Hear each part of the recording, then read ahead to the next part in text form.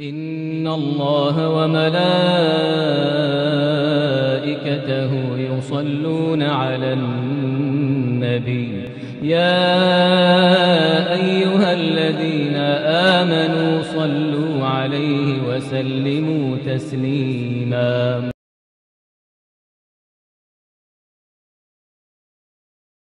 بسم الله الرحمن الرحيم والصلاة والسلام على سيدنا محمد أشرف خلق أجمعين. النهارده بقى إيه قناة ست البيت هتعمل لكم أسهل كيكة هتشوفوه كيكة الخلاط. بأقل حاجات بأقل خامات وهنعمل كيكة سهلة جدا. مش هت... يعني شوف لو عيلة في أولى ابتدائي حتى هتخش تعملها. يلا هنشوف معانا إيه دلوقتي. دولت كوبايتين ونص دقيق. وديت تلات أرباع كوباية زيت كوباية سكر وكوباية لبن. ودي معلقة خل. بتبقى محسن للكيكة ده عشان ما يهبطش. ودي ربع معلقة ملح وأربع بيضات وإيه وشوية فانيليا. وباكو بيكنج باودر. يلا بقى نشوف هنشتغل إزاي. بسم الله الرحمن الرحيم. كله هنحط في الخلاط كله وهنشتغل على طول. أسهل كيكة إن شاء الله تشوفوها. بسم الله الرحمن الرحيم. دي كوباية اللبن. وعليها السكر. والبيض.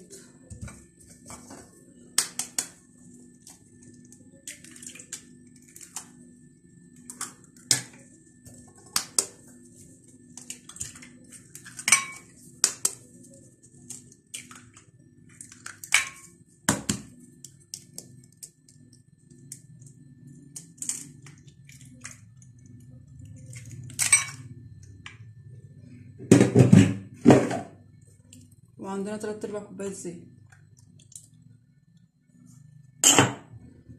وفانيليا أهم حاجة الفانيليا عشان البيض صفارة البيض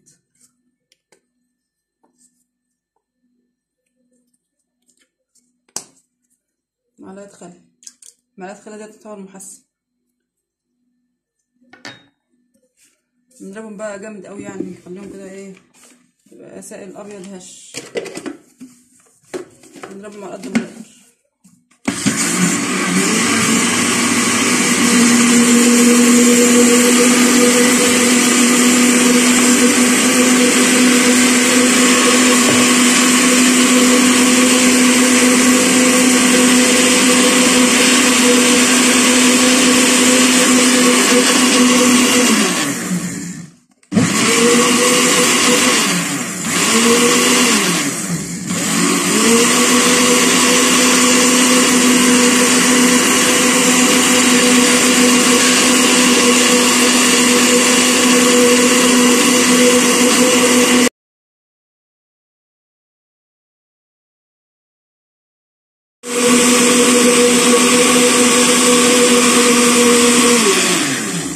بعد كده ما ضربناهم قوي بقى هنشتغل فيهم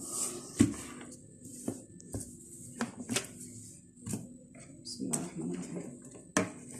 الله أكبر. جميلة قوي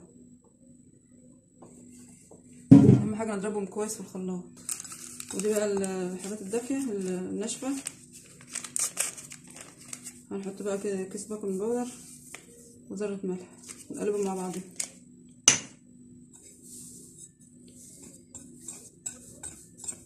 نقلبهم كويس ونحط بقى بالراحة كده ونسوي تاني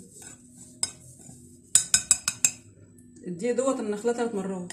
أهم حاجة دي الكيكه دي تدخل تلات مرات أو أربعة كمان مش مشكلة عشان يبقى إيه كيكة هشة وحلوة.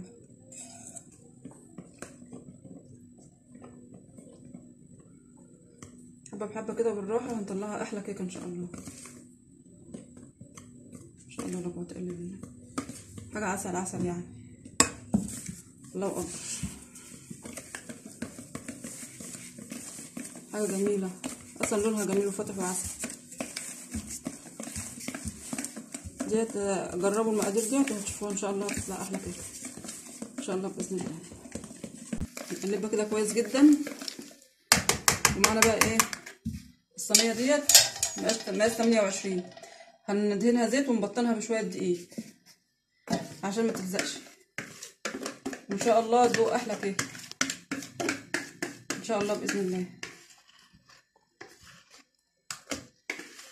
ديت بقى هندخلها على فرن متوسط الحرارة نص ساعة. ونتأكد إن هي استوت إزاي؟ نحط الخلة في وسط الصينية. لو طلعت الخلة نضيفة يبقى هي كده إيه استوت. لو طلعت لسه فيها أي شوايب يبقى لسه ما استوتش. وهنحطها في الفرن وبعدين نرجع نشوفها مع بعضنا. الكيكه بتاعتنا اللي عملناها كيكة الخلاط. وهشة وجميلة جدا. آه شوف هشة جدا يعني. ما شاء الله لا قوة إلا بالله. يا ريت الكل يجربها وتقولوا إيه رأيكم.